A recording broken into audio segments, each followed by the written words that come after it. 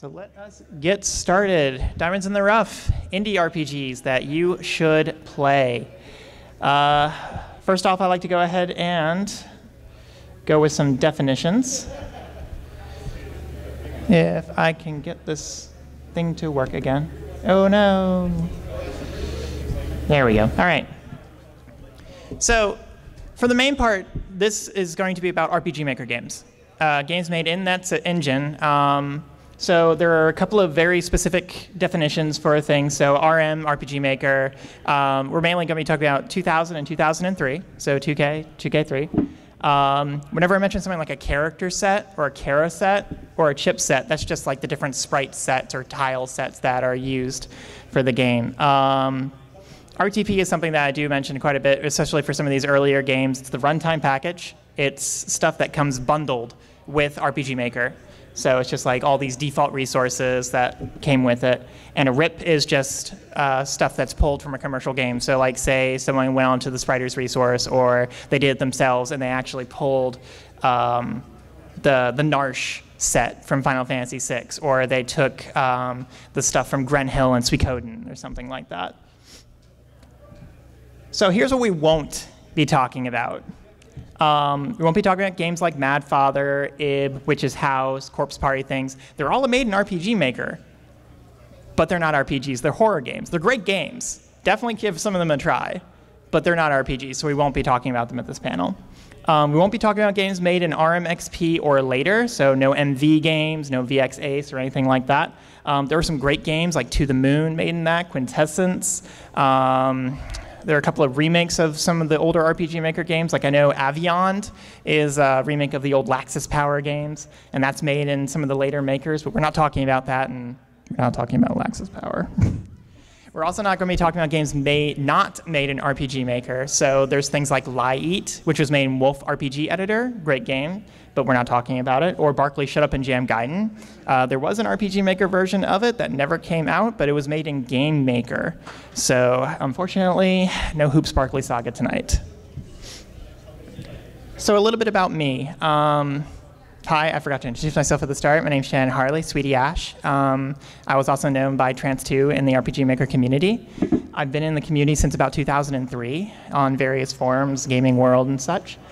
Uh, I was an administrator and a moderator on a bunch of different RPG Maker sites like Cobra's Realm, um, Lunatic Gaming, Omega Sanctum, and a couple of others. That like Monkey Productions, I think, was another one. A bunch of little independent groups. Uh, and I'm a staff writer uh, for RPGamer, which is the one of the larger websites for writing about RPGs on the internet. So, without further ado, we're going to start with a real heavy hitter. A Blurred Line by Lysander86. Now this is, let me get my notes out here because it's been a while. It's considered one of the best RPG Maker games out there. Most of the rankings I've ever seen have made it one of the best RPG Maker games. Um, it's a dystopian sci-fi game where you control a man suspected of murder and a man hell-bent on capturing him corporate military politics ensue, and Karsh, who is the man chasing your main character, Talon, learns of the hypocrisy around his employers in the military and such. It was supposed to have a sequel called A Line's End, or just Line's Ends, excuse me, that was supposed to conclude the whole story with Talon and Karsh and um, and all them. It actually started as a fir- the first game was called The Line Narrows, and then eventually this version here, a blurred line 2.1, uh, combined both the line narrows and a blurred line. Uh, Line's End is considered one of the greatest vaporwave, vaporware games we're still waiting for, and it's unlikely we'll be able to see it because no one knows where Lysander went.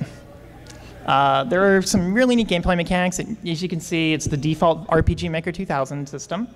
Um, you were able to use your main character to, and you're fighting in different areas, to absorb auras from enemies, and this allows you to learn different kinds of skills, so you can kind of customize your character to your liking. Uh, you can also go to basically everywhere from the start. There's some little bit of uh, railroading. Uh, and the choices that you make in the game with dialogue options through different NPCs and some of the other playable characters does determine how Talon gets through uh, his plight in the game. Now, next we have a real big classic, Legion Saga. This is actually a trilogy of games for RPG Maker 2000 made by um, Camus. And this is basically, well, for lack of better words, it's a blatant Suikoden ripoff. but it's really good. It is one of the very first completed RPG Maker games to come out in the Western community, even before a blurred line.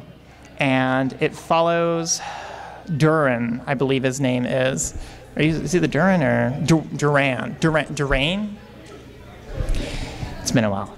There are three different games that function very much like Suikoden. There are three different battle styles. You have a normal battle system. There's a dual battle system that functions like a rock, paper, scissors, very much like Suikoden. And as you can see from the screenshots, there is also a war battle, just like Suikoden. Uh, all three games made in RPG Maker 2000. They, he was attempting to make a remake for RPG Maker 2003, uh, of the first Legion saga that had a demo, never fully finished. Currently, there's actually someone making a remake of all three of them in RPG Maker MV called Legion Saga DX. And it's supposed to come out sometime next year, but we'll certainly see what happens. All right, next we have a bit of a newer game, but still relatively old Alter Alia Genesis. This is a game by Neok. Let me get to my notes here. And most people remember it, especially on Gaming World and in screenshot topics, for being a Valkyrie profile esque kind of exploration system. Most RPG Maker games are top down, kind of grid based movement, say like a Zelda 1. But this was a side scrolling game. And there was puzzle elements involving that. There was a little bit of platforming. It was absolutely neat.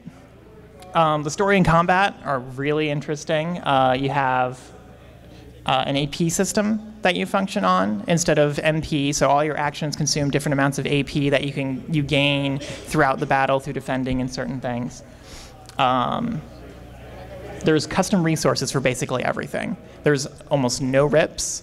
There is almost no RT. There is almost no RTP besides maybe some sound effects, and it's very very well illustrated. Uh, there was, it was a little bit after my time. When I left the community around around 2009, uh, when I was in college, but everything I've heard about this game has said nothing but good things about it. Most of the rankings have it as either number one, number two, or even just barely number three on their rankings. So next we got, we're, we have all the runs before this have been completed games. Even though Line's End never came out, A Blurred Line is still a completed game. We're going to move on to something more of a demo to show the power of RPG Maker, because usually you see just kind of generic RPGs. We have Uden Yamalrador by Soven Jedi, who I found out recently is now currently working for Adult Swim Games. So it's actually really cool seeing members of the RPG Maker community move into an actual uh, job within the industry. Uh, this is kind of Earthbound esque in its uh, ideas. It has you playing as um, Mike, who is kind of like a lone wolf type, you know, do, doesn't really want to associate with much of anything. And it turns out that there is a intergalactic war happening that has just reached Earth. And it's up to him to try and defend his town a little bit from this. We don't really know much about it because it's only a demo. It's kind of a tech demo. And so an action battle system, so like a Zelda or like um, a Ys game in the original in RPG Maker 2003. Now with later games, uh, uh, makers, it's a lot easier because there's scripting, so you can very easily make an action RPG. But with the very basic coding as it may be that you had in the original RPG makers, something like this was unheard of and he was able to go ahead and do this. So there is a demo, there's just a demo for this. It is definitely worth checking out. Speaking of custom systems, we move on to Legend of the Philosopher's Stone by, hang on one second, by Nemesis 29. And this also is nothing but custom systems. There are a decent amount of rips in it. Um, you can see the Tales of Phantasia uh, map border there, so we've got that uh, and a couple of Suikoden chips, I believe, uh, as well as First Seed material uh, stuff. But the battle system and the menu system are all completely custom. There is nothing attached to the original engine in there. So you are you end up being able to create just whatever you want using the limited coding you have. Uh, it still stands as one of the pinnacles of the capabilities of RPG Maker. The story is Marge and his companions are traveling the ruined world of Terra to find their way home. And you just basically follow them through that. It's been a while, I'm sorry. There's skill learning reminiscent of a Tales game, uh, or sorry, a Trails game, where you gain skills from orbs that you gain experience through using uh, um, in battle. And instead of being a, a straight up turn based game or an active time battle, it's a CR system, so kind of like a weight, uh, a, um, a stamina based system, excuse me, kind of like a Chrono Cross. So next we have one of my absolute favorite games. Um, it's called Sunset Over Imdal by Teo Mathelden or Mathelane, excuse me. And this is, it's an RPG by the thinnest definition.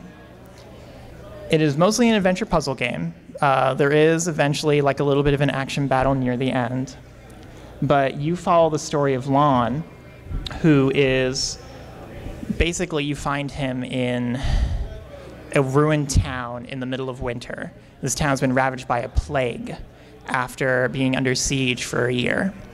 And a man appears to him and says, I have the power to help you save your town. Of course, he accepts and travels back to spring. And you go through the story of finding out okay, how did this plague start? How can I save my town from the siege? It all is uh, put against these absolutely gorgeous backdrops that Teo designed himself and you can just you know navigate that whole entire thing learning about all the people of the town and it goes through each of the seasons and one of the really cool things about it is that each of the seasons uses a bit of Vivaldi's The Four Seasons. So you have this kind of attachment to it in a musical sense as well. Uh, let's see. It just it just really really adds another layer to to the game. Now, going on to another heavy hitter, we have The Way. The Way is a six part series made by Loon Calasari. Uh, yeah, it looks a little rough, but it is still considered narratively to be one of the best RPG Maker 2000 games out there. You follow Rue, who is an adventurer traveling along the way, um, trying to gain whatever power lies at the end of it you do, you know, you meet various characters throughout, end up finding out this dark, mysterious power that lies at the end of the way. The really cool thing about it is the plunge system. It is a little bit of a, um, a mini game. That's a rock paper scissors system. Excuse me. And you know, it just has, it has a bit of a strategic value uh, uh, element to it that is really really fun. There's also a lot of backdrops made in Maya that are a little more parallax than um, than a lot of other games that just use straight up chips or whatever like that. Um, it is all available. All six episodes are complete, and definitely give it a shot. And going back to a demo, we're going to go a little bit out of uh, the United States to Germany for a game called Velsarbor. This one was also just a demo. It's also fully custom systems like Legend of the Philosopher's Stone was. And it is extremely fluid, it is extremely fun. Really cool uh, thing about Velsarbor is that the guy who made it actually went on to found Rocketfish Games, uh, sorry, Radical Fish Games, which made Crosscode, which is an action RPG that recently came out for Steam. And little Easter egg I saw in early in the game, you actually do see a screenshot of Velsarbor in it. So there's a little bit of a connection there. Uh, again, it is only a demo, and sadly, it is only in German. So you can kind of navigate a little bit. The story, unfortunately, I don't know enough German to tell you guys the story, and I was not able to find a synopsis anywhere. Uh, but it is definitely a very, very fun battle system. It's mapped absolutely beautifully. Uh, it's got custom characters, though a lot of the chips are ripped. Like we uh, we have a Terranigma rip there. Uh, I believe a I think that's first seed material. So moving on to another one of my favorite uh, favorite ones, we have Romancing Walker by FlareDB. This one is quite a bit different from the other ones. This one has a much more of an anime influence to it. It has all custom uh, portraits made, all with all different sorts of fa- uh, facial expressions to it, and uh, cut-ins for all the battle animations. So it has that really, really neat touch that a lot of other RPG Maker 2000 games didn't really have. In this game, you follow Ryle, who's going your, your typical hero's journey, uh, and also to help the the hero flair. So a little bit of a self-insert, but um, you end up going trying to help this hero or heroine, as it may be, to defeat the demon lord. And there's a lot of, of romance novel kind of stuff in it. There's you know you can every character besides Ryle is female, so it ends up being kind of like this Tenchi Muyo, Love Hina esque kind of romp through things with a little bit of that comedic value to it. Um, and like those kind of things, eventually you build relationship with all the different characters through per, uh, different side quests. Uh, it's a bit Englishy, which is unfortunate, but it's uh, self-translated by the developer, and it is certainly a, a fun little game, and it is also complete. Next, we're going to move on to Demon Legacy and Phantom Legacy by Nightblade.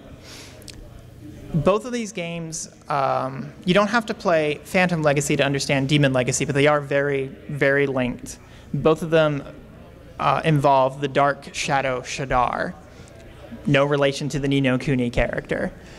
But he basically is a vengeful spirit who is trying to gain vengeance uh, against the main character of Slade. He's very, very, very well written. Uh, it's pretty much default systems. Um, we have the default RPG Maker 2000 battle system for both Demon Legacy and Phantom Legacy. Uh, you can gain one of the characters can gain abilities from fighting in different locations. So like Mog and Final Fantasy VI gain different dances. Uh, the stories are really, the story and the characters are really where the first game shines, as opposed to the gameplay. Uh, is extremely well written. There's a, some neat, um, kind of like Elder Scrolls esque, like lying your way through, uh, like influencing your way through things. Uh, Phantom Legacy is still a little bit default, but there's a lot of sprite edits. Um, there's still rips. I remember seeing uh, the Chrono Trigger uh, prison from Guardia Castle, so you have a lot of that. It is a continuation of the first game, but you don't need to play them. You play as Nero, who is wrongfully accused, and also having to deal with Shadar. Um, and Galhazard, Galhazad is another uh, character that is recurrent between the two of them, who is trying to defeat Shadar and rid the world of his evil. Next up, we have another custom system. Um, this is Kindred Saga and it basically works more on like a, a light dark balance system within the battle system. Uh, where's my Kindred Saga?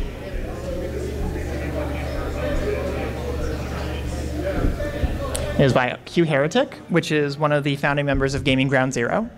Uh, it's really hard to find this game, unfortunately, now. There are a couple of repositories that do have it. Uh, it's a fully custom battle system. There are dual techs in it, so it's like a little bit like Chrono Trigger.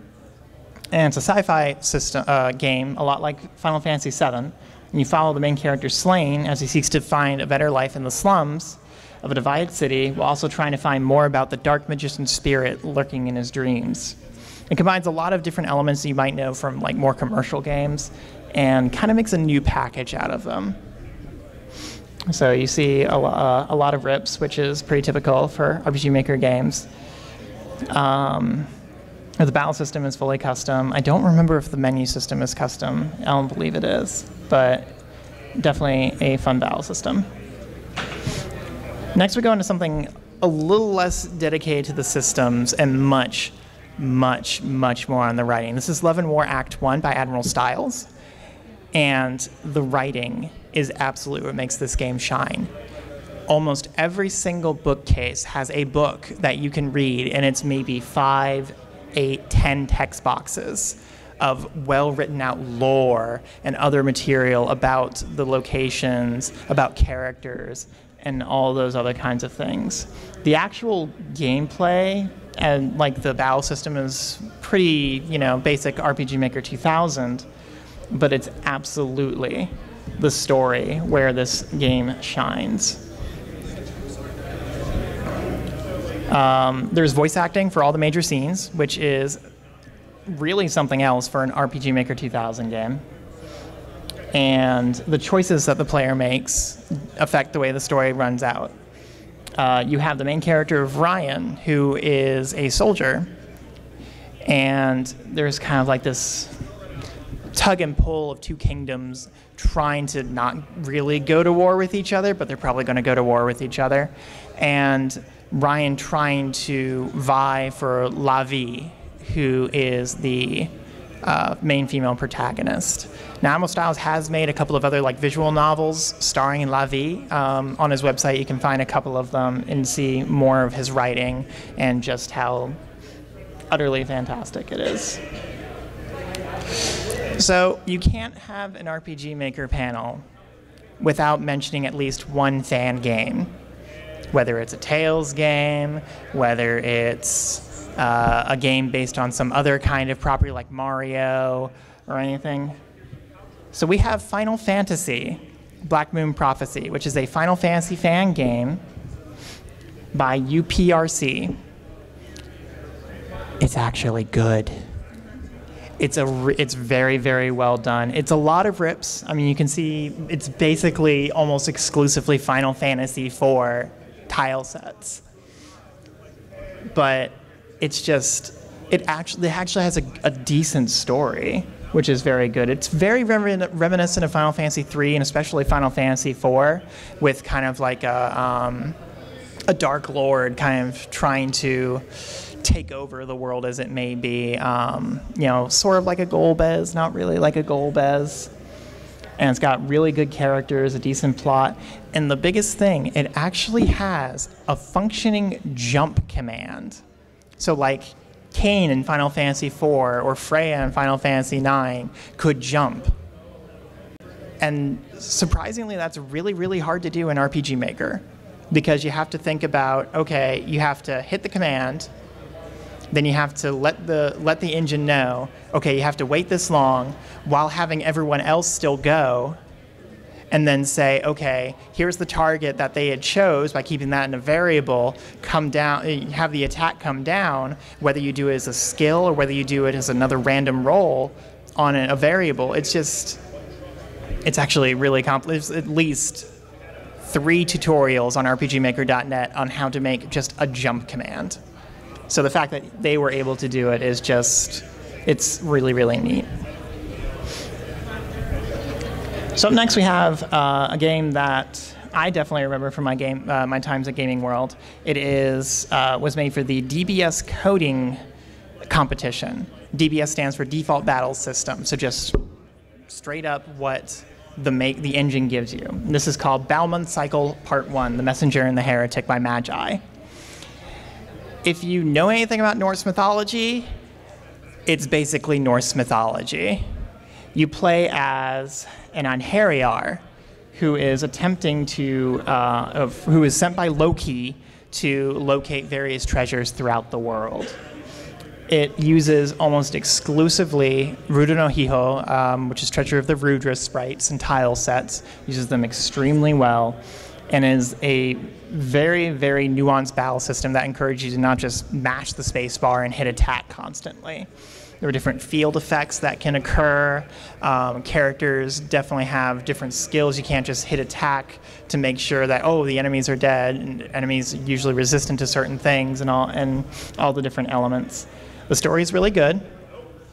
It's Norse mythology, but it's very very apparent that it is a part one. There is no part two, but the writing is pretty good. The characters have very solid personalities. They don't they do develop a little bit, but because it is very definitely a part 1, it doesn't really grow in terms. So up next is a very very popular game as of recent, and it's Katona's Heroes Realm. This is a game that's very, very reminiscent of Dragon Quest III and Dragon Quest IV, where you have various different chapters that you go to go through, each with one specific hero. And you can also build a party of other jobs or classes around them. Um, each chapter has a different kind of thing. One of the very, I think the first one is Save the Children, which is almost exactly like Ragnar from Dragon Quest IV. And it's a very, very classic, old school JRPG. There's not really a lot of frills and whis- bells and whistles, you know, that make it more, more like something from the 2000s or anything. And even though the story is very generic, it's very, very well written. Uh, it's divided across five chapters. There are four heroes. And the fifth chapter kind of combines everything all together. The dungeons are actually pretty good. There's some decent puzzles. Everything is kind of varied. There's not like Brown Cave 1, Brown Cave 2, Underwater section, Brown Cave 3. Yeah, everything has a real good theme around it. It's definitely absolutely worth at least one playthrough but it does encourage multiple playthroughs because you can choose at least 22 job classes for your characters. So, with the power of the maker, even though you can have really good games with the default systems, you can do some cool stuff with it besides like an action battle system or a custom battle system. You can make Fire Emblem this is a tactical RPG made in RPG Maker 2000 called Aurora Wing by D Falcon. And yes, it's true that Enterbrain did release a tactical RPG Maker, but this is made in straight up RPG Maker. And the amount of variables and the custom menus you would have to do, things like coding accuracy, maybe a weapon, even a weapon triangle, or anything like that, is like whoa, you, you did this? Uh, it basically is Fire Emblem. You know, there is that weapon triangle. It has a lot of that kind of political intrigue plot going on, like a Fire Emblem, and it's written a lot like it. Um, it's still at least a try because of just how neat it is that they made a tactics game in a system made for turn based RPGs. So up next we have, it's a little bit infamous, but it's also pretty good. It's called Legacies of Dondoran by Harmonic. This is one of, if not the longest RPG Maker games out there. It's probably a good 20, 30 hours, whereas other RPG Maker games might be five, maybe 10 if you're lucky. You follow Tyrannos and his whole Holcarad as you go through, and it's kind of your generic save the world plot. Start out starts out with like warring kingdoms, and eventually kind of explodes out. All custom music written by Harmonic, and it's one of the first games to really use MP3s within RPG Maker 2003 because earlier patches, and especially RPG Maker 2000, you could only use MIDIs, and sometimes you could use a wave or two. But you couldn't use MP3s until 2003, so he composed all the music, which is not bad, and he also made it so you have a skill tree, which is what we have right there on the right. And every character has their own unique skill tree that you can go through. So it adds that level of customization to each of the characters. It's mostly all RTP, uh, the runtime package. There's like the default dragon there. Uh, all the monsters there are packaged with the with the engine. The the bars are all from that. Uh, the characters are a little bit flat. They don't really grow per se. The writing's not really the strong suit of this game. It's certainly just the length and the amount of gameplay that you can get out of it. The dungeons are decent. So it's definitely worth at least one try.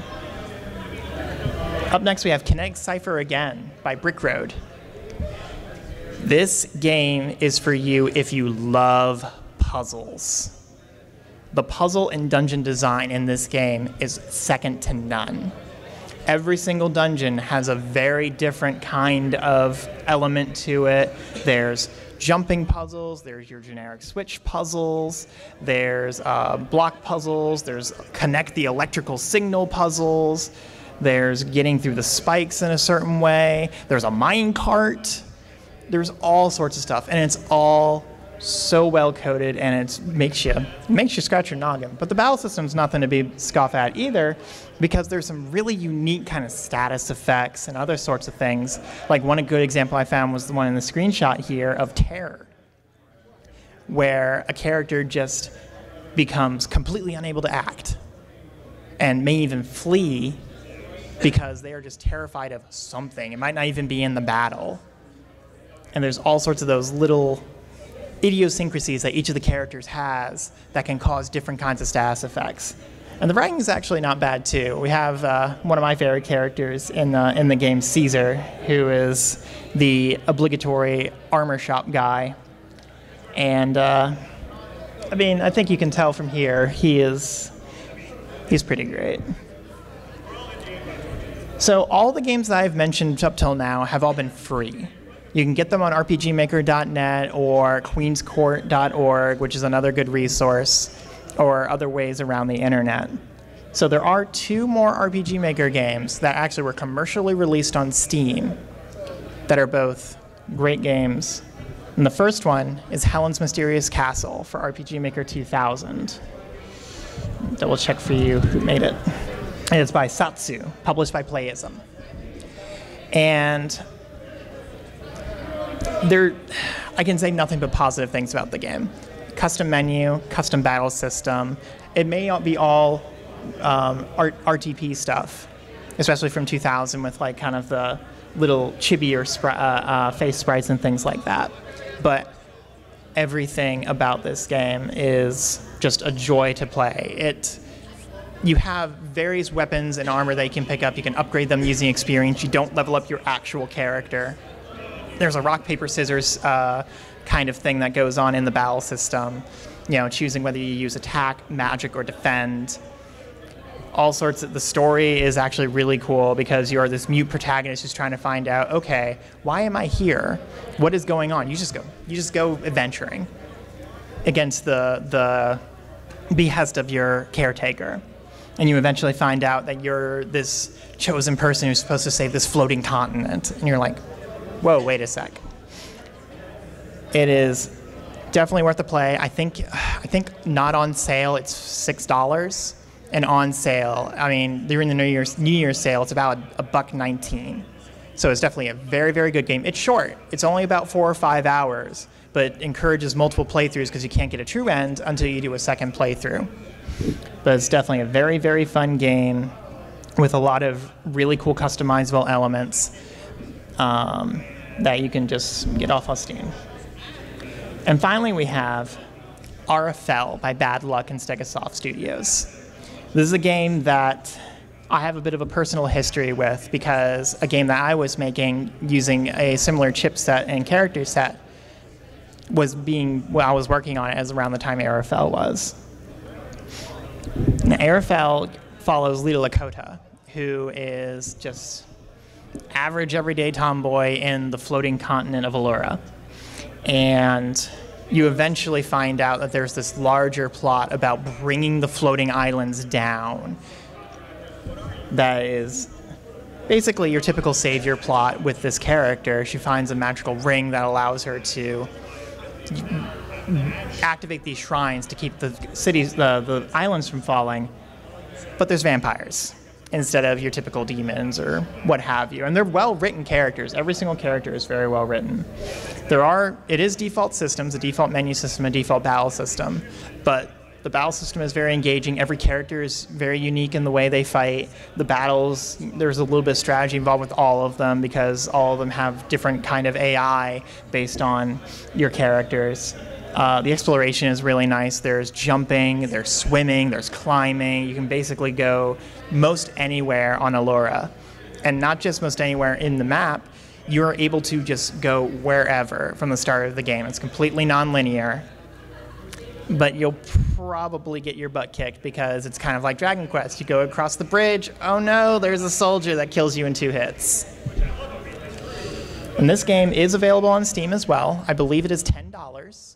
It vaguely goes on sales. I think uh, might be actually 15 but it's definitely, definitely worth a playthrough. It's beautifully, beautifully mapped. There's parallax effects. The story is great. The music's great. It doesn't use the Pirates of the Caribbean theme for the battle system anymore, like it used to. so definitely give that a shot. So those are the games that I think you guys should play. They're definitely great classics. Um, now all I want to know from you guys is do any of you guys have experience with the community and any of the games that you think I have missed? Um, I do know there's things like Nigsec, A Monster's Tale that I didn't cover here, Sacred, um, uh, Sacred Tears True, which is also on Steam, which is a great game. And um, if anyone has any games that they know about that we didn't cover, you know, go ahead and. Uh. Did you mention that earlier? I got that, That's a great game on Steam. Yeah, to, to the Moon is definitely absolutely fantastic. The story is absolutely wonderful. Um, that is also on Steam, and if you want a good cry, it's it's definitely a very very good game to play. Um, I, I wouldn't call it it's it's it's classic, but it's not a classic in terms of what we've covered here for sure. But yeah, definitely to the moon.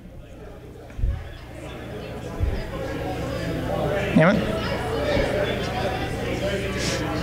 All right. Well, we are actually early a little bit, but I do have one more panel. Um, I have a Kingdom Hearts for Beginner panel in, in this room uh, tomorrow at 1.30 in the, in, the, in the morning. So if you guys are up and up for Kingdom Hearts, definitely go ahead and give that a shot. Um, you can uh, go ahead and contact me, you know, if you have any other questions about RPG Maker or, or just RPGs in general. Oh, okay. I mean, it's a newbie question, but do you need RPG Maker to play any of these games? The demos you would. The demos you would. Um, some of the fuller the full games you do not though because they come packaged with an ex- executable that you can just go ahead and run. It also does help to kind of have it in case the games throw an error like it's missing a resource or something. Um, from what I know, two, uh, 2K and 2K3 aren't that expensive right now on Steam, and there are other ways to get it, but we don't advocate that here, even though an advocate actually made the uh, translation for 2003. Um, but yeah, no, you do not you do not need RPG Maker to play pretty much any of these games besides the demo, the demo games. Any other questions? Sure. What version of RPG Maker would you recommend uh, getting started with if you're interested in making? If you're interested in making your own games, I would definitely start out with the newest one, MV. It's very, very good. Um, if you know anything about JavaScript, it makes the scripting a lot easier. I believe it's the only one that uses JavaScript. Um, and there are also great resources out there for those, as well as it has um, a built-in character creator. It comes with the little faces and all the characters and the side view characters and stuff. Um, 2K3 is actually not bad too if you want something a little more classic, you know, something that's more like your pixel art, like the 16-bit era. Um, and that one you have to go mostly look for the resources. There is the runtime package for it, but if you really want stuff for it, you have to go looking for it. And there are plenty of resources like the Keras Project um, and other websites that have, say, like, you want to make a Final Fantasy fan game. You know, there's plenty of resources out there that have, like, hey, here's the entirety of Terra's sprite sheet, and you can pop that into the, in the system. Yeah. Yeah. You can pick just one. Which of these games would you say I should play? Just one. If I had to pick just one RPG Maker game out of all of these, Helen's Mysterious Castle. Yeah, it's it's it's really it's short, but it's it's very very good, and it really shows just the capabilities of the engine. So I would I would definitely say Helen's Mysterious Castle. Yeah, I'm sorry that I came this late. What? Sorry to also tag along with the recommendation, but would you recommend somebody like MMAA or like um, one of What would I recommend to someone who really liked Yume Nikki? Um, also a fantastic RPG Maker game. Uh, we didn't really cover any games like Yume Nikki in the panel because they're more they're not really RPG make RPGs per se. Like they're not the traditional sense of you know levels and stats and things like that. But there is stuff like Witch's House, uh, Ib. Ib is absolutely fantastic and terrifying. If you ever want to do that one, yeah. Um, IB is how you spell Ib. Um, and then yeah, Witch's House is also very good. Mad Father is also very very good, and I believe uh, Witch's House and Mad Father are both on Steam at this point. Uh, I don't believe Ib is, but you can always look to see if it is. Mhm. Any other questions? All right. Well, here's my contact info if you have any other questions about RPG Maker or about RPGs in general. Um, my Twitter is at Sweetie Ash. I do stream on Twitch occasionally if uh, work isn't terrible. Um, and I pretty much do nothing but RPGs, so you know, definitely hit me up there. And I have a YouTube. It's Ash and Neko. And I want to thank you all for being here. Uh, I want you, hope you have all have a great MagFest and a great night. Now leave. Thank you.